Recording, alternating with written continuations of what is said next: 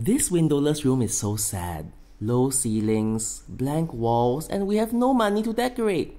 Let's fix it with just one move. It's all down to lighting. Overhead lights make the whole room feel flat, dull, and depressing. So, turn it off and use low level indirect lighting. This will bring your eye down and you forget about the low ceilings while creating variation so the wall doesn't look empty anymore. It also feels so cozy. For work rooms, we use another type of lighting. So now you know!